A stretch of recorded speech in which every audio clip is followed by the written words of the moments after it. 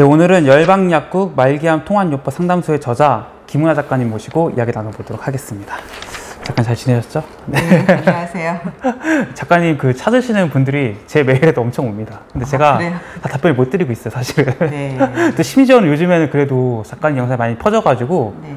혈액 검사지를 첨부해서 보내주신 분도 있습니다. 아, 그래, 네, 메일에. 예, 예, 예. 아, 피디님 네, 메일에. 근데 제 메일, 왜냐면 작가님 연락이 안 닿으니까. 네. 예. 그래서 일단은 그 작가님 요즘 어떻게 좀 지내시는지 하고 그렇구나. 작가님을 좀 만날 수 있는 방법을 한번 소개해 주시면 좋을 것 같아요. 아, 네. 아, 지금 저희 약국에 너무 전화가 빗발쳐서 직원들이 지금 약국 업무를 못하고 있습니다. 여러분 무조건 뭐 약국에 전화하시지 마시고 저랑 전화를 한다고 해서 타- 상담이 진행되는 건 아니고요. 카카오톡에서 열방약국 채널을 추가하시고 거기에 여러분의 병기와 치료 현황 또 불편한 부분들을 일단은 남겨주시면 저희 직원들이 순차적으로 여러분들을 응대해 드립니다. 그러니까 전화로 너무 묻지 마시고 카카오톡 열방약국 채널로 연결하시면 됩니다. 작가님 일단 약국도 모르시는 분들이 많아가지고 네. 그 이제 어떻게 하는지 구체적으로 뭐 전화번호라든지 뭐 이런 것들이 아. 조금 알려주셔야지 될 것 같거든요. 전화번호는 제가 일반 전화번호를 바꿔놨어요. 네, 네, 핸드폰으로. 네. 음. 그러니까 010 네. 9112 음. 9843인데요. 네. 여기에 전화를 한다고 해서 저희가 받지는 않습니다. 음. 문자로 남겨주시면 네. 저희가 문자로 응대해 드리겠습니다. 네. 그 이제 작가님 영상이 올라간 지도 벌써 이제 꽤 됐잖아요. 두 달, 두 달, 세 달 됐나요? 두 달 조금 안 그쵸. 됐죠. 이제 두 달 되겠죠? 네. 그럼 이제 첫 영상 올라가고 나서부터 네. 작가님 만나서 네. 작가님 상담을 해주신 분들도 꽤 많으실 거 어, 네, 아니에요? 많죠. 좀 뭐 이제 시간이 지났으니까 네. 작가님의 상담을 받고 나서 네, 네. 나아진 케이스? 뭐 이런 것도 혹시 있나요? 어, 있죠. 최근에 정말 저도 너무 기뻤던 케이스는 정말 2월 초에 유튜브가 뜨자마자 네. 원주에서 이걸 네. 보고 그냥 약국으로 무작정 찾아오신 음. 예, 목사님이 계셨어요. 네. 그래서 어, 그러면 환자는 어디 계시냐 했더니 국립안센터에 입원 중이시고 음. 좀 상태가 많이 안 좋다. 그래서 네. 아니 환자 상태도 제가 알지 못하는데 무조건 일장에 나오는 저희 아버지가 드신 보충제를 다 달라고 그러셔서 네, 네. 제가 돌려 보냈습니다. 네. 그래서 환자 상태를 소상히 알 수 있는 음. 검사지와 네. 혈액 검사지라도 최소한은 가져오셔야 합니다. 그래서 정말 제가 빠꾸를 세 번을 한 거예요. 음. 어, 세 번, 원주에 네. 사시는 분은. 원주에서 그래서 한 번 오셨고 네. 두 번째 오셨을 때는 또 이제 검사지랑 가져오셨는데 조금 네. 미비했어요 검사지가. 어, 네네. 제가 볼 때는 음. 그래서 또 빠꾸를 시키고 음. 또세 번 오셨을 때 이제 약을 이제 조금 최소한으로 드렸는데 네. 부인을 향한 그 열정이 너무나 저를 감동시켰어요. 와. 네, 네. 우리 아내 그동안 나 때문에 너무 고생했다고 음. 하시면서 우리 아내 뭐 꼭 낫지 않아도 됩니다, 약사님. 네. 그냥 제가 최선을 다해보고 싶습니다. 네. 그래서 지금 입원 중이시고 식사도 잘 못하시는데 음. 제가 이거를 드려도 네. 어떤 효과가 있을지 드실 수나 음. 있을지 제가 네. 걱정입니다. 그랬더니 무슨 일이 있어도 아내를 음. 먹이겠다고 음. 그러면서 약을 가져가셨어요. 네. 근데 또 정말 지난주에 네. 오신 거예요. 근데 한 달 좀 넘게 만에 오셨는데 제가 잘 못 알아봤어요. 워낙 많은 환자를 보니까 그쵸, 그쵸. 네. 어, 예약도 안 하고 오셨길래 예약을 음. 안 하고 오셨네 했더니 약사님한테 꼭 보고 다시 재구매하려고 왔습니다 음. 하시는데 목사님이 지금 자기 아내가 너무 좋아졌다는 거예요. 네, 그래서 네. 이거 사진을 보여드리겠다. 네. 근데 폐암 4기셨어요. 네. 근데 정말 첫 번째 사진은 완전히 하얗게 뒤덮여 있어요. 암으로. 네, 네. 정말 까만색이 보여야 되는 까만색이 안 보일 정도로 뒤덮인 음. 사진에서 어 이제는 암이 많이 사라진 네. 사진을 가져오신 거예요. 네. 그래서 지금 어떠시냐 사모님 상태가 어떠시냐 했더니 어 당연히 퇴원하셨고 음. 기력이 날마다 회복되고 계시다고 네. 어뭐 약을 더 막 떨어지실까 봐 네. 약을 더 막 충분히 가져가셨어요. 네. 원주에서 서울을 그냥 한 걸음에 그냥 음. 오시고 네. 너무 이제 놀라운 기적이죠. 그 네. 사진 자체를 보면 야. 한달 만에 그런 폐암 환자가 이렇게 많이 좋아질 수 있다는 게 음. 저도 참 놀랐고요. 네. 뭐 제가 뭘 많이 도와드렸다기보다는 네. 그분의 간절함, 음. 기도의 힘도 엄청나게 한 99%는 음. 그거에다가 아, 기도의 힘의 1%의 저의 좀 도움이 네. 어, 됐다고 봅니다. 어. 아, 그럼 보통 사귀면은 이게 생존율이라든지 이런 거 어떻게 되나요, 보통? 어, 이런 비소세포 폐암의 사기 생존율은 한 네. 10% 많이 봤을 때 10% 근데 그분은 상태가 정말 안 좋으셨어요. 어, 그 중에서도. 네네 어. 안 좋았고 병원에서도 네. 좀 어렵다라고 하신 상태였거든요. 네, 네. 그럼 작가님께서 이제 그 혈액 검사실 보셨을 거 아니에요, 그분 거를. 네, 그 봤을 때 그 느낌이랄까 그거 어떠셨어요, 그거? 안 좋죠. 얼마나 안 좋았어요? 너무 제가 네. 정확히 수치는 기억이 네. 나지 않지만 네, 네. 어쨌든 이제 폐암 환자가 입원했다는 거는 음. 이제 숨쉬기도 힘드신 상태고 음. 네, 그런 상태였죠. 네. 그 이제 두 번째 오셨을 때 음. 미비하다고 해서 돌려보냈다고 하셨잖아요. 음. 미비하다는 건 어떤 의미인가요? 그러니까 혈액 검사지가 네. 너무 항목이 적었던 거죠. 아, 검사. 네, 한 다섯. 여섯 가지 뭐 이렇게 음. 하면 안 되고 조금 네. 더 이제 기수가 높기 때문에 음. 좀 봐야 될 항목이 많아요. 네, 네. 그러니까 좀 지난번 것도 봐야 되고 네, 네. 예, 현재 것도 봐야 되고 하는데 음. 뭐한 네다섯 가지 검사 딱 그거만 가지고는 네. 항암제를 맞는 네. 데 필요한 그 음. 수치만 가지고는 네. 제가 환자를 파악하기가 힘들어요. 그러니까 여러분 최소한 뭐 한 6개월 전 거라든지 네, 네. 그리고 최근 거의 음. 혈액 검사 좀 전면적인 혈액 검사지. 네, 네. 그다음에 조직 검사지에도 내가 무슨 변이가 있는지 음.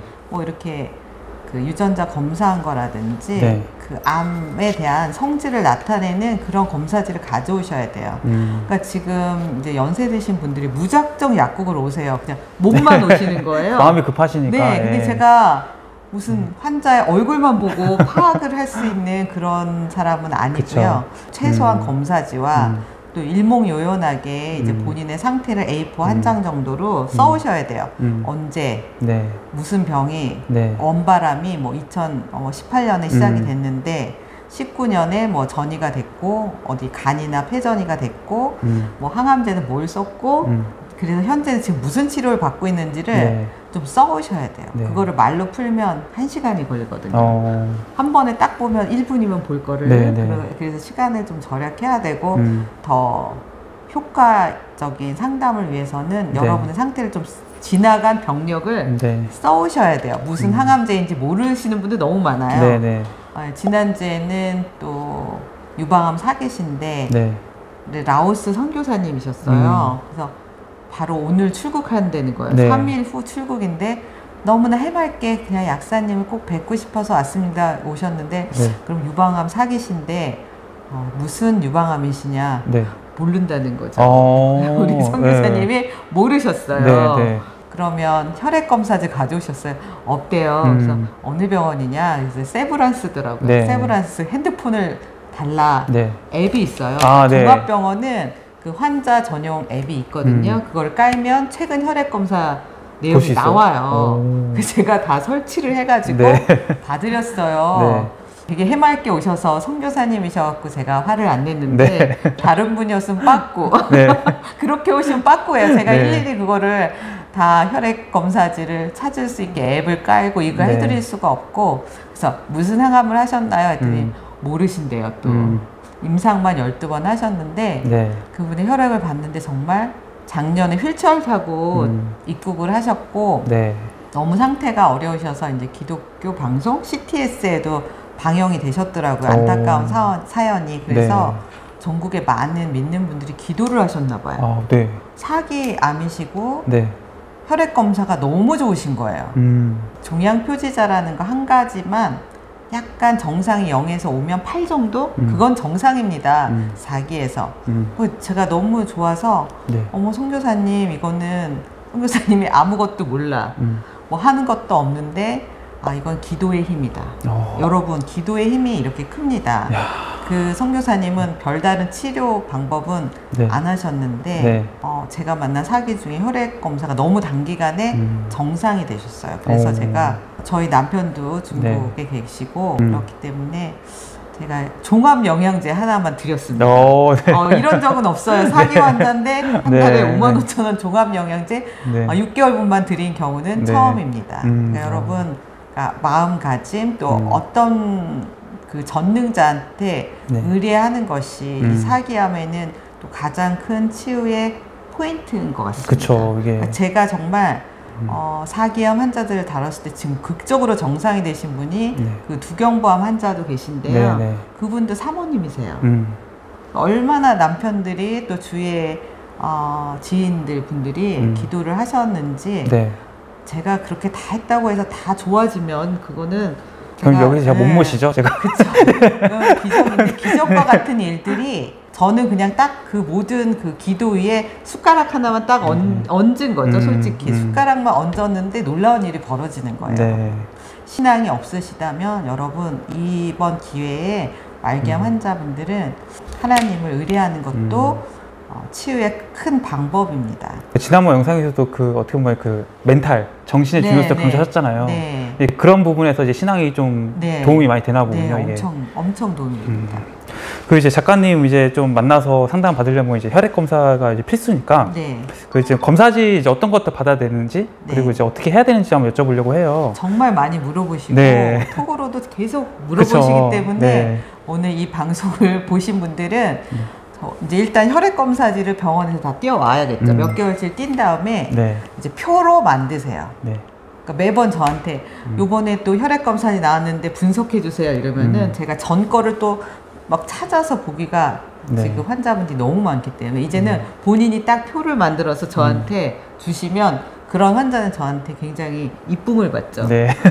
어, 기쁘게 상담을 막 하는데 저도 이제 눈이 너무 아파요. 네. 이게 사진으로 올려오시면 이걸 음. 확대해가지고 막 찾아서 그쵸. 보기가 너무 힘들거든요. 그리고 음. 막 가로로 눕혀서 오시면 이게 세로로 네. 와야 되는데 그런 것도 좀 이렇게 네. 좀 신경을 써주시면 좋겠습니다. 일단은 그 이게 혈액 검사 받으러 갈 때꼭 네. 대학병원을 가야 되는가 이거부터 아니죠. 짚어주면 좋을 것 같아요. 네, 꼭 네. 대학병원까지 가실 필요는 없고 동네 가정의학과 음. 가셔가지고 네. 몇 가지 항목을 좀 자세하게 해달라고 하시면 돼요. 음. 네. 그럼 이제 어떤 항목들을 좀 추가해서 네. 받아야 되는지 설명이 좋을 것 같아요. 백혈구 관련 항목이 있습니다. 백혈구, 음. 적혈구, 헤모글로빈, 호중구, 임파구, 단핵구. 음. 이게 이제 백혈구 관련 항목인데 네. 요거 여섯 가지 넣어달라고 하시고요. 그 다음에 간 수치 알아야죠. 음. GPT, GOT, ALK, ALP 이렇게 간 수치 항목 넣어주시고 그 다음 세 번째 콜레스테롤. 음. 콜레스테롤도 하나만 있지 않아요. 총 콜레스테롤, LDL, HDL, 중성지방 이 네 가지를 다 봐야 됩니다. 그 다음에 네 번째는 혈당, 음. 아, 혈당 수치. 그 다음에 뭐 더 추가로 하실 거면 비타민 D 수치. 네. 그 다음에 NK 세포 활성도. 그 다음에 신장 또 음. 기능을 나타내는 수치들이 있거든요. 네. 그런 것들을 좀 전면적으로 어차피 한 번 뽑는 거니까 네. 그렇게 전면적으로 넣어달라고 하면 체크 체크 하면 돼요. 음. 비용 추가 그렇게 많이 되지 않으니까 음. 한번 할 때 좀 이렇게 자세히 해놓는 것이 어, 전반적인 몸의 상태를 알아보는데 필수고 또 한 가지는 종양 표지자. 음. 간암이다, 췌장암이다, 뭐 난소암이다 하면 그 특, 특이한 그 종양 표지자가 있어요. 네. 그 종양 표지자 자기에 해당하는 거를 음. 조금 추가해 달라고 하세요. 그럼 이제 종양 표시자를 제외한 거는 모든 암 공통인 거고 네, 그 종양 표시자 내가 해당하는 암에 대한 것만 체크하면 되는 건가요? 그렇죠. 음. 네, 보통 CEA, 네. 어, 간암은 AFP, 음. 뭐 췌장암, 간암 이런 분들은 CA 19-9, 네. 뭐 CA 125, 음. 이 정도에서 선택하시면 될것 같습니다. 그럼 이제 그 검사를 하면 이제 검사 결과지가 나오잖아요. 네. 그 결과지는 네. 다 똑같은 건가요? 아니면 뭐 병원마다 다른가요? 어, 결과지가 조금씩 순서도 다르죠. 음. 네.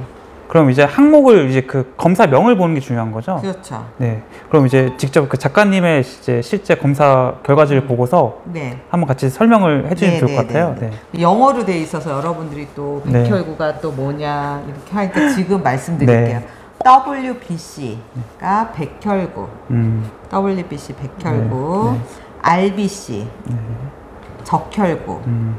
HB 네. 헤모글로빈, 음. 그 다음에 뉴트로필 NEU, 네, 호중구, 음. 그 다음에 림파구 LYM, 임파구, 어, 그 다음에 콜레스테롤.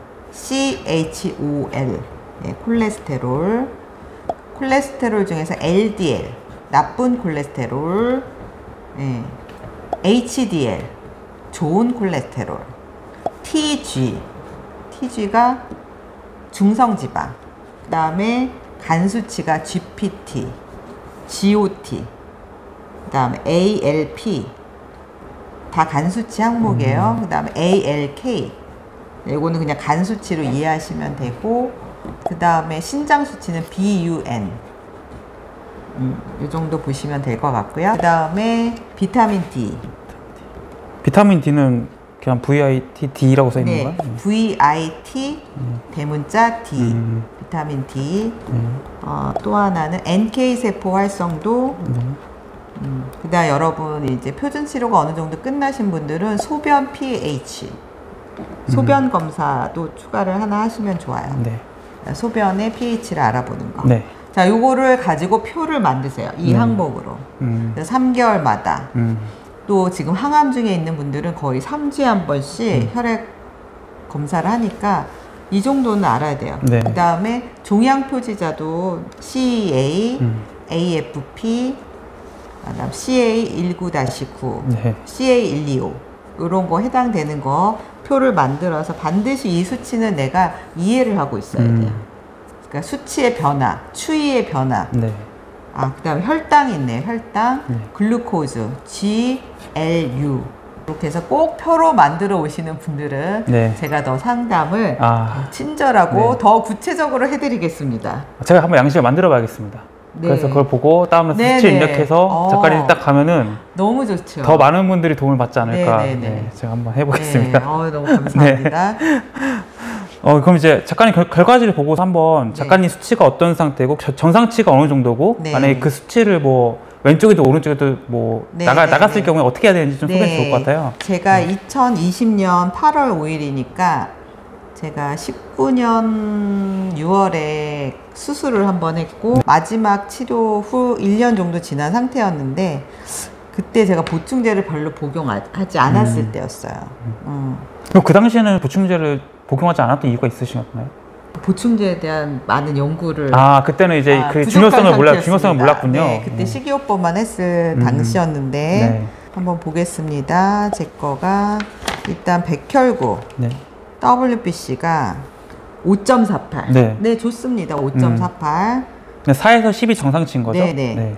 가장 이상은 한 5.5에서 6.5. 음. 그러면 면역력이 아주 좋은 상태. 네. 이건 올라왔는데 네. RBC가 네. 적혈구가 3.84밖에 안 돼요. 어. 그러니까 이거 왜 4부터 6이 정상인데 네. 한4.5 정도 와야 음. 되는데 약간 약간 떨어져 있죠. 네, 그렇죠. 이건 이제 항암제 음. 가 골수 손상이 오면서 네. 적혈구 관련 수치들이 잘 늦게 올라와요. 네, 근데 네. 이런 거는 이제 보충제를 쓰면 한 달 만에도 올라오는데 네. 그때 제가 조금 부족했네요. 그 이때 그럼 음. 이제 보통 이제 보시는 분들은 이제 4에서 6이 정상치라고 하니까 음. 작가님 수치가 0.16밖에 차이가 안 나는 거잖아요. 네, 네. 어 그럼 뭐뭐 0.16 차이 괜찮죠. 괜찮은 괜찮- 거죠? 이 정도는 거의 정상이라고 음. 봐야죠. 네. 더 이상적인 정상은 아직 아니었다. 음. 그 다음에 이제 뉴트로필 호중구가 53이었네요. 네. 그러니까 모든 정상의 중간 범위면 좋은 거예요. 음. 제가 임, 임파구가 37, 네. 15에서 40 아주 좋은 거예요. 37 정도가 아주 이상적이고요. 네. 호중구는 한 조금만 더 내려와도 좋아요. 음. 어, 제 pH는 8이었네요. 음. 식이요법을 너무 열심히 한 거죠. 너무 야채를 많이 먹은 거예요. 네. 조금 줄여도 되는, 음. 조금 나쁜 거를 또 네. 먹어도 되는 pH 8 네, 네. 열심히 했다는 거예요. 음. 제가 음. 제가 원래는 5였거든요. 네. 5에서 8로 올린 거는 네. 환골 탈퇴. 어. 엄청 나, 내 자신을 변화시킨 거고요. 그 이게 5에서 8이라고 써 있잖아요. 네. 그게 거의 뭐 10, 12도 될 수 있는 건가요? 아니요. 그럴 수는 그런 없는 건 거죠? 없, 네, 없습니다. 네, 네. 무조건 모든 사람은 5에서 8 사이인 그렇죠. 거죠? 예. 네. 5에서 8 사이여야 네, 됩니다. 근데, 암 환자는 5, 음. 5가 많다는 거예요. 음. 5, 5.5, 6. 음. 네. 제가 아까 말씀 안 드린 거는 네. 사기 암 환자는 네. 단백질하고 알부민을 체크해야 돼요. 어. 네, 프로테인, 네. PRO로 시작하는 거 프로테인. 네. 그거 하고 알부민, 네. ALBU. 네. 그래서 알부민. 요게 이제 정상보다 떨어진다. 많이 떨어진다. 음. 네. 그러면 지금 어, 암에만 음. 영향이 다 쏠리고 음. 정상 조직에 안 간다는 거예요. 어. 그러면 이제 이럴 때는 좋은 프로테인과 영양요법을 더 적극적으로 해야 돼요.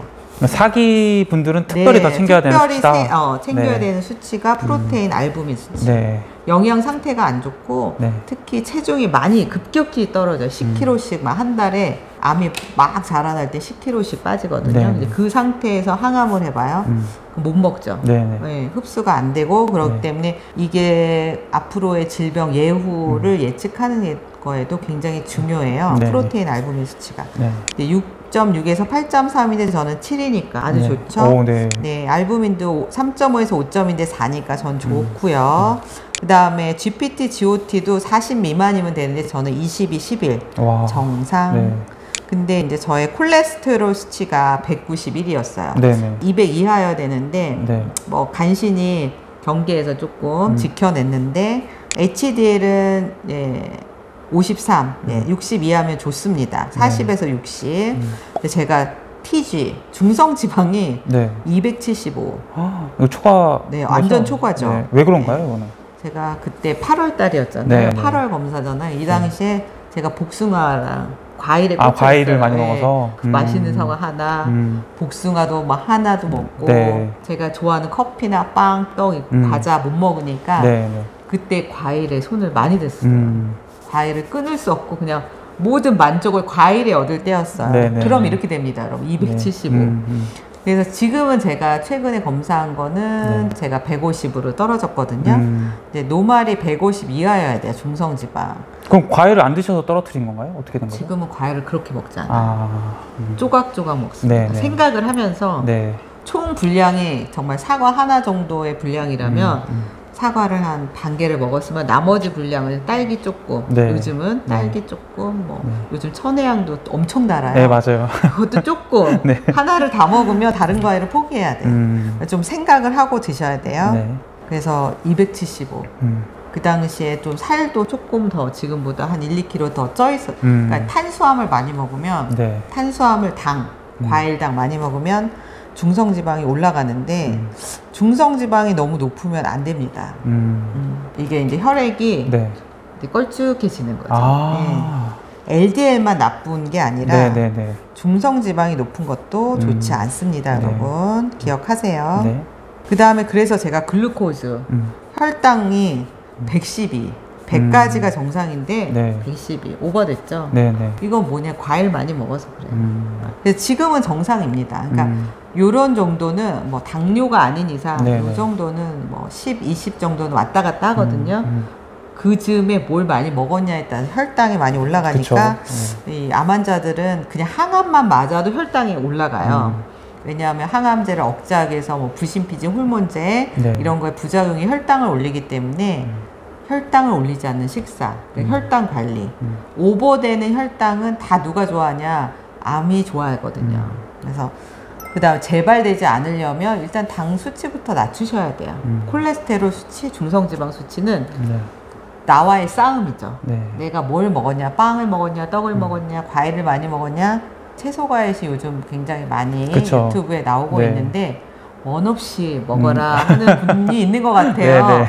네, 네. 아마 정상인도 그렇게 먹으면 안 됩니다. 음, 음. 과일 너무 많이 드시면 안 되고 음. 특히 암 환자는 과일도 제한을 하셔야 합니다. 지금 전반적으로 수치가 좋은데 네. 그 몇몇 수치들이 좀 이제 이상 네. 수치를 보이는 거잖아요. 네, 네. 이 당시 식단이 어땠어요? 이 당시 뭐 과자, 커피 이런 거 하나도 안 드셨죠? 네, 안 먹었죠. 네, 이 당시 식단 말씀해 주시면 도움이 될 것 같아요. 이 당시에는 제가 과일 위주의 식- 음. 식단을 한 거죠. 음. 그러니까 야채도 먹는데 네. 그 만족감을 과일에서 제가 어. 굉장히 많이 네네. 예, 얻었어요. 근데 음. 지금 그 당시에 먹던 과일량의 3분의 1밖에 안 먹어요, 지금. 은 어. 아침에도 사과 몇 쪽 이렇게 네. 먹는 거지. 네. 예전에는 그냥 앉은 자리에 사과를 하나에 다 먹는 거예요. 음. 너무 맛있는 단 사과를. 그리고 점심엔 또 복숭아를 먹고 음. 여름이니까 포도를 한 송이를 다 먹었겠죠. 네네. 그러면 이렇게 되는 거예요, 여러분. 아. 한 송이는 안 돼요, 여러분. 과일을 한 개를 다 드시면 안 됩니다. 네. 만약에 사과를 하나 분량으로 따져서 그거를 사과도 조금, 딸기 조금, 음. 뭐 블루베리 조금 이렇게 나눠서 그것도 한끼다 드시면 안 되고 네. 사과의 한 3분의 1이나 반 분량을 좀 나눠서 음. 음, 간식처럼 그렇게 드시면 되고요. 네. 저는 이제 다른 수치가 조금 안 좋았던 거는 네. 제가 원래 갑상선 자가 면역 질환이 있거든요. 네네. 그런 수치들이 조금 올라 있어요. 음. 그러니까 갑상선 자가 면역 항체. 음. 저는 TPO 항체라는 게 지금 10에서 16까지 정상이면 39. 네. 근데 이게 원래는 제가 150까지 높았어요. 어. 그 1년 전 검사에서는 네. 150이었는데 이 항체를 낮춘 거예요. 음. 음, 지금은 정상입니다. 네.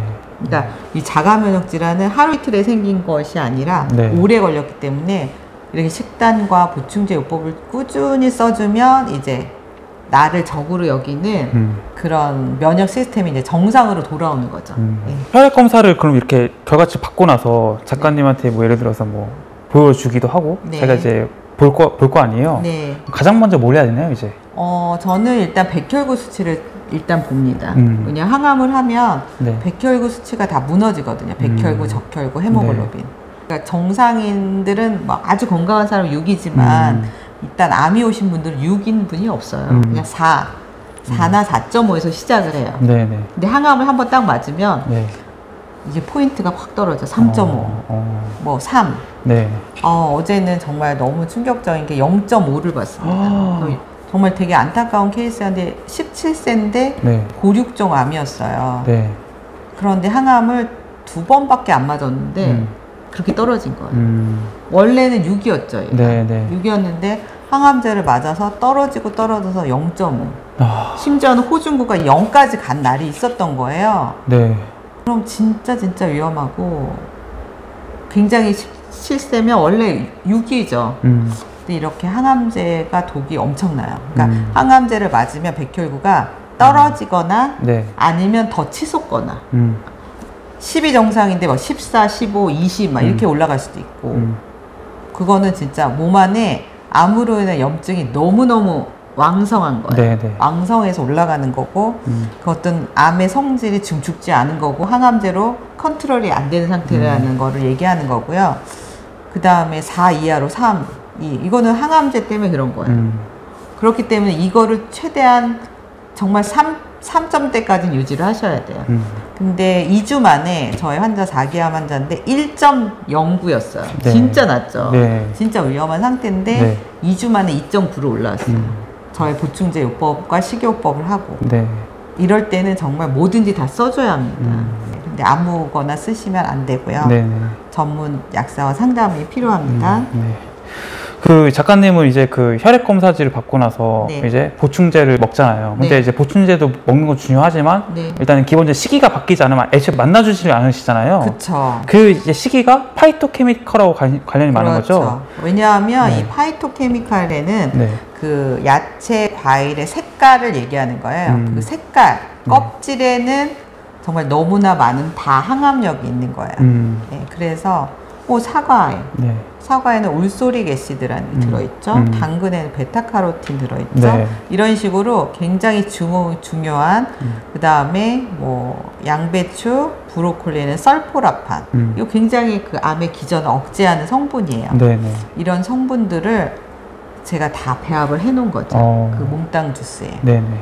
그거를 드셔야 됩니다. 네. 그리고 뭐 케일, 뭐 신선초, 네. 보리새싹 이 녹색 야채 속에도 음. 굉장히 강력한 음. 그 항암력 성분이 들어 있어요. 음. 그래서 식이요법을 안 하고 보충제로는 안 돼요. 음. 그래서 제가 어떤 다른 그 치료하시는 약사님들보다 네. 제가 치료 효율이 조금 더 높은 이유는 제가 굉장히 까다롭게 음. 어, 이 식이요법을 체크를 해요. 어떤 어. 분은 막 못 먹으니까 네. 뭐 요구르트에다가 뭐를 타서 그쵸, 먹었다. 그쵸. 예, 그런 많아요. 요구르트요? 요구르트 안 됩니다. 이제 네. 뭐 먹는지 제가 또 다 식단을 올리라고요. 찍어 올리시거나 하면은 음. 요양병원에서 진짜 너무 그득그득 나와요. 막 음. 너무 너무 이건 너무 식단이 과합니다. 음. 그래서 살이 찌는 거예요. 네. 난소암 3기 환자분 오셨는데 네. 항암하면서 요양병원에서 얼마나 편해요. 그쵸. 해주는 밥 먹고 네. 하니까 살이 5kg가 쪘다는 거예요. 음. 항암 중에 살이 빠져서도 안 되지만 네. 또 난소암, 유방암 이렇게 호르몬 관련성 암들은 살이 찌면 안 됩니다, 음. 여러분. 음. 아니 살이 찌다니요. 이건 너무 오버됩니다. 네, 그러니까 네. 식단을 봤더니 막 너무 음. 너무 엄청나게 잘 나오는 거죠. 음. 조금 덜 먹어야 돼요. 음. 체중이 그러니까 지금 오버 되시는 분들은 한 끼를 이 몽땅 주스로 드시고요. 네, 네. 근데 또 몽땅 주스 좋다고 이걸 식사로 하시면 살이 빠져요. 어. 그러니까 말기암 환자들은 적정 체중이 계신 분들은 네. 더 이상 빠지면 체력이 없어서 안 음, 돼요. 음. 그러니까 미달이신 분들은 밥을 세 끼를 아주 꼬박꼬박 네. 많이 드셔야 되고 이 몽땅 주스는 정말 간식처럼 음. 하루에 한 대접을 목표로 좀 나눠서 네. 드시면 되고 또 잡곡밥이 좋다고 무조건 잡곡밥을 고집할 필요는 없어요. 왜냐하면 말기암 환자들은 지금 소화력이 너무 떨어져 있기 네, 때문에 네. 막 죽을 드셔야 되는데 막 음. 잡곡밥을 주면 안 되거든요. 죽을 드실 분들은 죽을 드시고 음. 그다음 죽에서 조금 더 나아지시면 진밥, 네. 흰 쌀로 질게 해서 음. 무조건 일단은 체중이 빠지면 안 돼요. 체중이 빠졌던 분은 올릴 수 있게 진 밥이라도 음. 드시고 그 다음에 몽땅 주스 이런 야채는 네. 정말 섭취할 수 있을 만큼 음. 사기 환자들은 이 생야채 절대 안 되고 다 익혀요. 다 익혀서 스프 타입으로 해서 그러니까 다 단계별로 하시는 거예요. 네. 생야채는 모든 위장 소화기관도 아주 좋고 네. 표준 치료도 끝났고 네. 그래서 그 정상으로 돌아오신 분들이 이제 음. 생야채의 양을 늘리시는 거지 네. 사기암은 다 익혀서 스프 음. 야채 스프처럼 다 끓여서 갈아서 최대한 다 손실 없이 흡수할 수 있게 그렇게 식단을 준비하시면 되겠습니다. 음. 네. 그 이제 몽땅 주스 한번 말씀해 주시니까 이제 여기서도 굉장히 말이 많습니다. 그래서 몽땅 주스를 어떻게 만드는지 하고 네. 믹서기 관련 논란도 한번 언급해 주면 좋을 것 네, 같아요. 믹서기 네. 여기서 상품명을 얘기해도 되나요? 아, 상품명까지 말씀하지 아, 마시고. 안 되고 네. 그냥 그 고성능 믹서기 있어요. 네, 네. 한 2, 3, 2, 30만 원대. 음. 비쌀수록 더 좋겠죠. 그래서 여러분 싹 갈리는 거. 음. 그뭐 스무디 얼음까지 싹 갈릴 수 있는 성능의 믹서기면 어떤 브랜드도 괜찮습니다. 네. 음. 꼭 제가 쓰는 뭐 믹서기가 최고가 아닙니다. 네, 네. 제 것도 지금 오늘 네. 고장이 나더라고요. 아, 그래요? 5년을 매일 썼더니 오, 네. 네, 이제 안 갈리고 이제 네. 바꿔야 될 때가 됐어요. 그러니까 어, 매일 음. 쓰기 때문에 잠깐, 잠깐 어떤 거로 고르실 건가요, 믹서기? 좋은 걸로 골라야죠. 그 좋은 거란 어떤 걸까요? 좋은 거 이제 사양이 좋은 음. 거, 비싼 음. 거, 음. 네, 비싼 거 고를 거고. 네. 아 두유기를 저한테 굉장히 많이. 물어보시는데 네. 두유기 제가 너무 너무 저렴한 걸 산 거예요. 음. 그랬더니 너무 한 컵만 나와요. 네. 그런 거 말고 좀 적정 가격 선의 거를 저도 실패를 했기 때문에 음. 네. 네, 저한테 물어보시지 마시고요. 네, 네. 여러분들이 더 잘 고르실 수 있죠. 네. 그리고 몽땅 주스는 저는 보통 사과 반 개, 제가 음. 오늘 오늘도 했는데 사과 반 개, 음. 오이 한 개, 네. 당근 하나, 토마토 하나. 음. 그다음에 양배추는 뭐 너무 크면 3분의 1, 음. 예, 브로콜리 한 반 개. 네. 그럼 한 여섯 개 정도 되죠. 네. 오늘은 있는 게 그거밖에 없어서 음. 파프리카나 뭐 레몬도 있으면 레몬도 좀 껍질 까고 하나 정도 음. 넣으시면 좋아요. 음. 너무 시기 때문에 신 거를 안 좋아하시는 분들은 용량을 조절하시고 파프리카도 있으면 하나 정도 넣으시고 네. 음. 저는 브로콜리랑 양배추는 찌죠. 음. 근데 이제 다른 분들은 다 싹 다 이거를 오이나 사과도 사기 환자는 빼세요. 음. 익힐 수가 없으니까 네, 네. 나머지 야채들을 싹다 어, 익혀가지고 가세요. 음. 그렇게 하면 한 2, 3일 음. 저는 먹거든요. 네. 음. 그게 분량이에요. 음. 그 이제 암 환자분들이 많이 여쭤보는 게 네.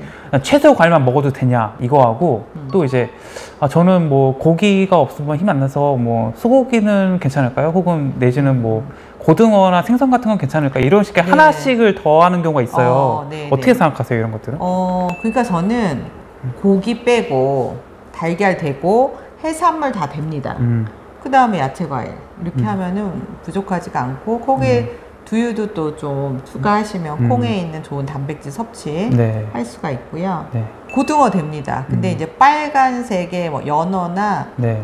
어, 참치는 안 돼요. 너무 어. 붉은색은 말고 네. 나머지를 네. 생선은 다 회 되냐고 하시는데 절대 안 되죠. 음, 절대 안 됩니다. 음. 그리고 며칠 전에 이제 췌장암 환자였는데 네. 간신히 한 달에 14kg 빠지신 분인데 간신히 지금 설사하고 뭐 가스 차고 이거를 잡아드렸는데 냉면을 드셨대요. 네. 냉면 드시면 될까요, 여러분? 안 되겠죠? 당연히 안 되겠죠. 네. 음. 냉면이 이름이 냉이잖아요. 냉. 네. 네. 차가운 성질의 음식을 드시면 절대 안 돼요. 어. 면 종류 안 됩니다. 네. 그러면 따뜻한 칼국수는 될까요? 안- 칼국수도 안 돼요. 음. 그러니까 밀가루가 굉장히 염증을 일으켜요, 여러분. 음. 저도 지금 5년이 지나고 모든 지표가 정상이어도 네. 밀가루를 먹고 나면 불편해요. 음. 예. 그러니까 어딘가를 긁게 돼요. 그쵸, 그쵸. 막 네. 배를 긁거나 네. 예, 얼굴에 뭐가 돋거나 음, 음. 생선도 그렇게 약간 절인 생선을 약간 살짝 찌는 것도 좋죠.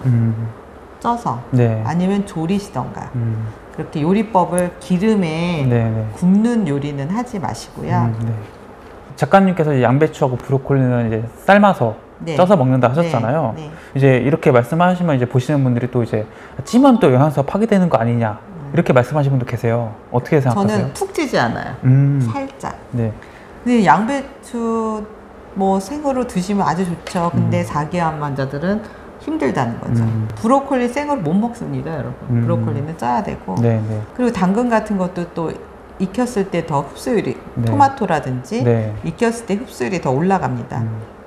그럼 이제 또 이제 살짝 찐다고 하셨으니까 네. 몇 분을 쪄야 되는 건지 또 이런 하나하나가 다 굉장히 그 중요하게 생각하시거든요. 아, 네. 저는 진짜 살짝 쪄요. 그럼 몇 분 정도 될까요? 그게? 살짝 한 네. 1분? 1분? 네. 네. 1분 정도 충분하죠. 네. 그리고 뚜껑을 닫아 놓으면 그 미열로 음. 잔열로 그냥 싹 음. 어, 익혀져요. 네. 물을 이제 넣고 이제 불을 킨 끓- 게. 어, 불 네. 켜고 네. 이렇게 김이 나고 나서의 1분이죠. 아, 네. 김이 나서 알겠습니다. 1분 정도. 음. 그 이제 오메가 3 같은 경우에 이제 네. 자연에서 섭취해야 된다. 작가님은 이제 어떻게 생각하세요? 네. 정상인은 어, 음식으로만 섭취하면 돼요. 음, 음. 뭐 생선도 일주일에 두세 번, 네. 고등어 같은 거 드시고, 음. 뭐 달걀도 좋은 거 드시고, 음, 이러면 좀 덜 부족하지만, 음, 어, 암 환자들은 그렇게 해서가는 절대 부족합니다. 음. 왜냐하면 제가 가장 중요한 게 세포막이잖아요. 네네. 세포막의 성분이 오메가3 인지질이라고 그랬어요. 음, 근데 우리 이미 그 암 환자들은 세포막이 네. 변성이 된 거죠. 음. 오메가 3가 부족하고 오메가 6 성분이 많이 구성되어 있기 때문에 네. 신호 전달에 이상이 온 거예요. 그럼 음. 얘를 급속히 재생 복구를 하려면 네. 고함량을 써야죠. 그쵸. 네. 그럼 보통 이제 오메가 3 그 보충제 한 알에는 얼마나 들어있는 건가요? 저는 이제 오메가 3 액상 오메가가 네. 그 그냥 정말 기름이에요. 음. 7.5g에 네. 네. 기름을 그냥 먹는 거예요. 어. 하루에 한 포 정도. 어. 충분합니다. 어, 네. 네. 그 이제 커피도 절대 먹어서 안 되는 음료라고 이제 하셔, 네. 강조하시잖아요. 네. 그럼 커피를 못 먹으면 좀 대체할 수 있는 차 같은 거 혹시 있을까요? 정말 여러 가지 차가 많던데요. 네. 암에 좋은 차. 암에 좋은 차, 네. 뭐 녹차, 음. 녹차류, 뭐 보이차도 좋고 음. 녹차는 조금 성질이 차갑기 때문에 좀 따뜻한 류의 차를 드시면 좋을 것 같아요. 홍차도 네. 좋고 네. 보이차도 좋고 음. 루이보스 차도 좋고 음. 요즘은 제가 뭐 약간 variation이 있는 네네. 뭐 무슨 그 백화점에 차 네. 파는 코너에 가니까 네. 여러 가지가 막 홍삼도 맞아요, 맞아요, 들어가고 맞아요. 뭐 무슨 네. 그래서 제가 조금 음. 배, 뭐 사과도 들어간 무슨 차 음. 뭐 이런 게 있어요. 맞아요. 섞어서 요즘에. 굉장히 맛있는 차들이 많아요. 음. 그래서 저는 하루에 한 하루 종일 차를 마셔요. 그럼 뭐 종일. 주의해야 될 차 이런 건 없나요? 그럼? 너무 차가운 차, 국화차 음. 이런 건 좀 너무 냉해지거든요. 음. 그러니까 암 환자군 맞지 않아요. 그러니까 네. 그 차의 성질이 냉한 차들은 조금 피하시고 음. 조금 더 따뜻한 종류의 차들을 몸을 따뜻하게 하는 차를 음. 선택하시면 좋겠어요. 이제 치료에 대한 의지가 이제 강한 분일수록 어떻게 보면 좀 극단적인 선택하실 가능성이 높잖아요. 예를 네. 들어서 내가 치료를 치료에 전념하기 위해서 네. 나는 산으로 가겠다. 이런 분들도 많잖아요. 어떠, 어떻게 생각하세요, 이런 것들은? 산으로 가면 병원이 너무 멀지 않을까요? 음. 어, 왜냐하면 말기암은 위급한 상태가 많아요. 네네. 언제든지 어떤 상태가 고열이 날 수도 있고 음. 호중고가 떨어져서 고열이 나면 네. 응급실을 가야 되고 음, 피부 발진이 너무 난다든지 복수가 찬다든지 네. 흉수가 찬다든지 네. 위급한 상황이 많기 때문에 저는 절대 사는 권하지 않습니다. 음, 병원과 가깝게 응급 환자를 처리할 수 있는 그런 곳에 항상 있어야죠. 음. 그럼 작가님이 이제 그 말기 암을 이제 어떻게 낫게 하는 네. 가장 좋은 뭔가 모습은 이제 병원에서 이제 치료를 받으면서 혈액 검사를 보면서 주기적으로 하면서 네. 식이 관리. 식이 관리하고 부족한 네. 그 영양은 채워주면 보충제로 채워주고 네네. 또 제가 책에 썬 통합요법으로 천연물을 써서 음. 모든 그 암의 증식을 차단하는 천연물 음. 제제를 쓰는 거죠. 네네. 제가 하는 처방에 보통 음, 식이요법까지 다 포함하면 거의 30가지 이상의 천연물이 포함되어 있습니다. 음, 당근도 천연물이고 네, 네. 양파도 천연물이고 음. 예. 그렇게 만약 작가님의 지시대로 다른 사람들이 이제 벌써 꽤, 꽤 많아졌잖아요. 지금 영상이 나간 후로. 엄청 많아졌습니다. 좀 어, 피부로 어떠세요? 좀 많이 나아지고 어, 가- 계세요? 어떻게 얘기하시냐면 하시냐면 네. 간 이식밖에 답이 없어서 항암도 못하는 분인데 음. 그런 상태로 한 2년을 버텨 오셨는데 네. 이분은 항상 그러니까 식이요법 전혀 안 했던 거죠. 음. 그냥 고기를 좋아해서 고기를 계속 먹었는데 네. 그런 걸 몰랐다는 거죠. 자, 음. 본인이 그런 지식이 없었는데 항상 방구가 너무 독가스였대요. 음. 진짜 본인이 견디기 힘들 독가스였는데 네. 이 유튜브를 보고 음. 식이요법 몽땅 주스를 딱 만들어 먹은 지 4일이 됐는데 네. 독가스가 사라졌대요. 와. 네. 그런 분들은 너무 많아요. 그러니까 음. 정말 간을 또 이식하고 오신 분이 있었어요. 네. 진짜 간 이- 이식 전 수술한 사진 봐 너무 끔찍했어요. 여러분. 음. 네. 간이 원래 빨갛잖아요. 네. 그 소간 빨갛듯이 네. 네. 그런 빨강이 없어요. 막 검고 울퉁불퉁하고 막 어. 엄청 비대져 있고 네. 네. 세간을 봤더니 너무 좋은 거예요. 근데 지금 그분은 2년 전에 이식을 했는데 간에 그 정도의 암이 있으면 네. 다른 데도 당연히 퍼져. 있었겠죠. 네. 암세포가 있었는데 간만 바꿨어요. 음. 그래서 지금 현재 간은 너무 좋은데 네. 주변에 전이가 된 아, 상태였어요. 네네. 근데 이분은 진짜 교포분이었는데 음. 고기로 살았고 음. 그다음 에 중국 교포는 식용유 엄청 많이 쓰잖아요. 네. 그래서 아내가 이 유튜브를 보고 정말 이건 안 된다 하는데 안 말려져서 음. 찾아오신 거예요. 음. 근데 그분이 이제 100kg가 넘었는데 이제 80kg가 된 거죠. 음. 키도 되게 크시고 음. 진짜 몽땅 주스를 이제 먹기 시작하신 거예요. 음. 그러니까 이분도 역시 똑같은 말. 자기가 방구가 너무 독했는데 네. 네. 방구 냄새가 지금 사라졌다. 와. 그래서 지금 제가 선택하라 그랬어요. 음. 그래도 자꾸 남편이 볶아달라고 한다 음. 기름을. 음. 그러니까 토마토 볶음, 음. 달걀 볶음 되게 유명하잖아요. 음. 모든 야채를 중국은 다 음. 볶으니까. 음. 아 지금 선택하세요. 지금 그렇게 어렵게 새 간도 얻으셨는데 네. 네. 이것만 바꾸면 되는데 식용유를 쓸 건지 살려면 안 쓰고 음. 계속 또 좋아하는 그걸 식용유에 볶는 요리를 해서 음. 또 빨리 가실 거면 선택하라고 제가 또 단도직입적으로 했더니 네. 그 선생님 말을 듣고 식용유를 이제 끊겠습니다. 음. 아, 식용유를 너무 많이 쓰신 거죠. 음. 고기도 그동안 먹어왔었는데 네. 이제 끊겠습니다. 음. 일단 방구 냄새가 달라졌다. 음. 다 하시는 말씀이 네. 어떤 분이 있었냐 최장암이었었는데 제 영상을 보고 네. 두주 동안 네. 해오신 거예요. 네. 그래서 두 주를 딱 봤더니 혈액 수치가 다 좋아진 거예요. 백혈구도 4점대였는데 5로 올라오고 음. 뭐다 좋아졌더라고요. 그래서 어머 선생님 2주 동안 뭐 무슨 일을 하셨나요? 뭐 네. 뭘 했길래 이렇게 좋아지셨어요? 그랬더니 항암제를 맞는데 그 몽땅 주스를 음. 하고 고기를 끊고 그것만 했는데 백혈구가 1포인트 올라간 거예요. 와. 그런데 물론 종양 표지자는 항암제 때문에 많이 치솟았죠. 음. 종양 표지자까지 억제는 안 됐어요. 음. 음. 왜냐하면 이 항암제의 부작용과 내성으로 인해서 확 올라간 거예요. 네. 네. 그래서 이제 보충제를 쓰자. 음. 그래서 본인들이 어, 야채를 먹어서 힘이 빠질 것 같았는데 훨씬 가볍다. 음. 그걸 느끼시더라고요. 그러니까 일단은 내가 내 몸이 좋아지고 있는 신호의 첫 번째가 방구. 방구, 냄새. 네. 네. 아, 여러분 지금 네. 방구 냄새 확인해 보세요. 건강한 사람은 네. 장이 정상이면 방구가 독한 방구가 안 나옵니다. 가스도 안 나옵니다. 어, 어, 네. 만약에 내가 처음 이제 말기암 사실을 알게 되었을 때 네. 굉장히 충격을 많이 받을 거잖아요. 네. 그분들께 좀 해주고 싶은 말씀 있으세요? 어, 지금 울 시간이 없습니다. 음. 충격 받을 시간이 없고요. 어제도 한 분이 지난 정말 전신에 퍼지신 거예요. 음. 그러니까 폐 쪽의 수술을 작년에 하고, 그러니까 이게 수술이라는 게 그렇더라고요. 네. 정말 전신에 너무 급속도로 퍼져서 난소도 네. 지난주에 수술을 한 거예요. 음. 그래서 오늘 찾아왔는데 자기가 올 시간이 없다. 네. 이게 암이 커지는 속도가 너무 어떤 항암제로도 따라잡을 수가 없어서 음. 저는 선생님이 하라는 걸 하겠다. 음. 수술했는데도 힘들잖아요. 네. 예, 자기가 할 수 있는 최선을 다해보겠다고 음. 음. 예, 하시더라고요. 그래서 일단 저의 책을 정말 음. 꼼꼼하게 읽으셔야 돼요. 음. 이해 안 돼도 다 이해해 오시던데요. 음. 제가 또 감격스러웠던 분은 네. 요즘은 형제, 네. 뭐 효자, 네. 효녀, 네.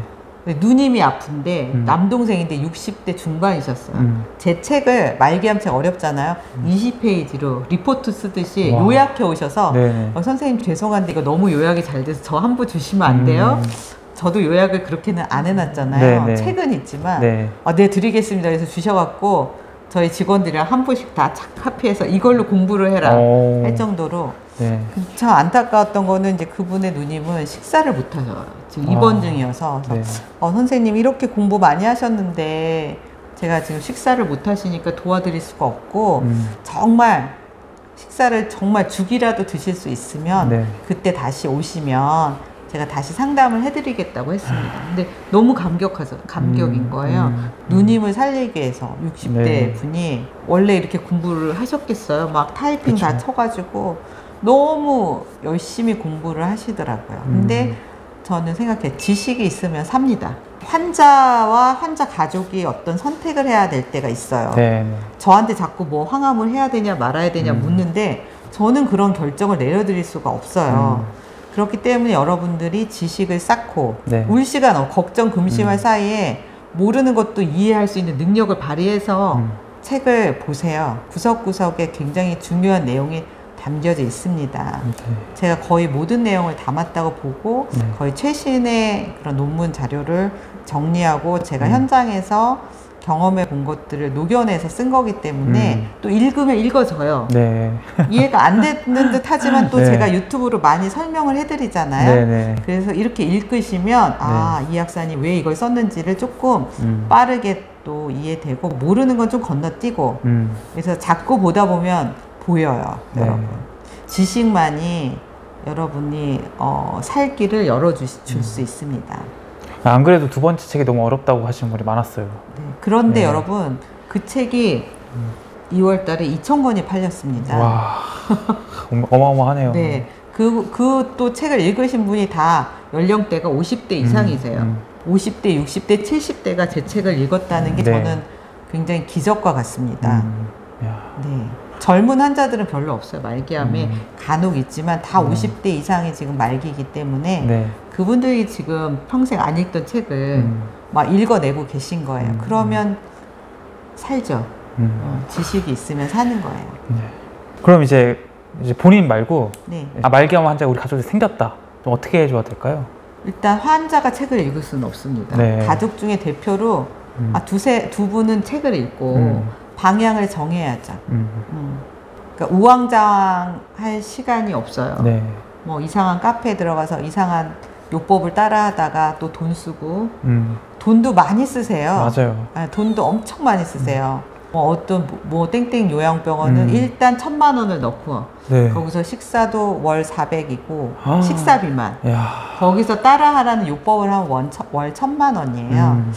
그래서 저한테 자꾸 물어보시더라고요. 그런 요법에 대해서. 저는 저와 저의 가족들 또 제가 케어해드린 분들은 그런 요법은 한, 한 번도 음. 해보질 않았어요. 음. 오- 오직 집과 병원에서는 표준 치료 음. 이것만 병행을 해서 어, 나타낸 결과죠. 네. 정확한 정보를 음. 해서 음. 시간과 재정과 음. 또 어떤 치료 시기를 놓치지 않게 낭비 없이 음. 어, 그렇게 사용을 하셨으면 좋겠어요. 음. 제가 그 작가님 영상에 달린 수많은 댓글 중에서 네. 좀 굉장히 인상 깊었던 게 어떤 분이 음, 암에는 이제 완치가 없다. 음. 이제 암이 이제 그렇게 치료가 됐다 할지라도 음. 끊임없이 관리가 필요하다라는 네. 말씀 하신 분 있었어요. 네, 저도 100% 음. 동감하고요. 네. 완치는 없습니다. 음. 그러니까 암성 체질을 네. 끊임없이 내 자기 부인을 통해서 암이 싫어하는 환경으로 그냥 평생 음. 관리해야 돼요. 음. 예전에 좋아하던 거를 다 끊어야 돼요. 그거는 뭐 제가 한다고 여러분을 도와줄 수가 없고 여러분의 네. 결심이고 네. 여러분이 계속 지식을 넣으면 아 음. 이건 안 되는 거다라고 이해하면 안 먹게 돼요. 선택을 안 하게 돼요. 음. 저도 지금 이걸 계속 하니까 저도 커피를 간혹 손을 댔는데 요즘 현저하게 네. 현저하게 지금 네. 마시고 있지 않습니다. 네. 저도 지금 커피를 좀 손대면 눈이 건조해져요. 어. 지금 계속 지금 핸드폰과 컴퓨터 너무 많이 보는데 네. 눈 관리를 해야 되는데 커피 한 잔 딱 마시면 눈이 시려져요. 음. 카페인으로 인해서 메말라지죠 음. 몸이 되게 음. 항진되고 음. 또 하루 잠 못 자면 또 그 다음날 컨디션 엉망되고 네. 그래서 저도 참는 거예요. 그 습관이 주는 네. 그 유혹을 그 냄새와 그 네. 유혹 그 했던 습관을 음. 거부하는 게 정말 어렵죠. 음. 그러나 살고자 하는 열망은 그래서 사기 환자들이 일기 환자보다 더 치료율이 높을 수도 있다. 음. 왜 살고자 하는 욕망이 나를 부인하기 때문이죠. 음. 일기 환자는 고생을 안 하니까 똑같이 지내요. 정말 짧은 시간 안에 네. 저한테 오는 지금 말기암 환자들이 한 50%는 네. 일기 환자였었죠. 어. 물론 처음 발견이 네. 4기인 분도 있지만 음. 거의 절반 이상은 음. 몇년 전에 암 환자였었던 거예요. 그런데 이제 다른 부위로 음. 전이 재발이 오신 거죠. 음. 방심하면 안 돼요. 저도 방심하면 안 돼요. 음. 네, 댓글에 써주신 분 감사합니다. 완치가 아니라 저도 관리 중에 있습니다. 음. 여러분과 똑같습니다. 그럼 암 치료 관리법에 대해서 좀 해주실 말씀 있으신가요? 3에서 6개월마다 혈액 검사 한번 해주시고 음. 그럼 지표를 보면서 네. 내가 부족한 부분이 뭔지가 보이잖아요. 네. 네. 그 부분을 이제 한 가지씩 한 가지씩 저처럼 중성 지방이 높았다. 네. 그럼 중성 지방이 오를 수 있는 모든 환경을 없애는 거죠. 음. 백혈구가 좀 낮다. 네. 백혈구 올리는 보충제를 또 쓰셔야 되고 네. 네, 그런 식으로 관리를 하시면 음. 좋죠. 어, 그러니까 어떻게 보면 이게 성적표네요. 이게. 네, 성적표예요. 내가 지난 6개월 동안 네. 뭐 어떻게 관리했는지 성적표입니다. 네, 그런데 또 이제 우리 자기암 환자들 막 한 달 만에 네. 이 성적표가 달라졌네, 안 달라졌네를 하는데 네. 여러분 자기암 환자가 변화되는 거는 정말 어려운 일이에요. 음. 일반인들도 백혈구 1포인트 올리는 게 굉장히 어려워요. 네. 그러니까 1, 2기 유방암 환자들 제가 엄청 많이 봤거든요. 항암 끝나고 1년 지나도 3.5예요. 음. 열심히 노력하고 막 먹는데도 3.5. 네. 그렇게 항암을 여러 번 하신 분들은 음. 혈액 수치가 올리기가 쉽지가 않습니다. 음. 그러니까 일단 손상이 한번 된 거잖아요. 네. 네. 손상 되기 전에 미리 선제적으로 보충제를 쓰는 게 저는 그래서 좋다고 생각해요. 좋다고가 아니라 추천이죠. 네. 강추입니다. 네, 이제 끝으로 구독자분들에게 좀 해주실 말씀 있으신가요? 네.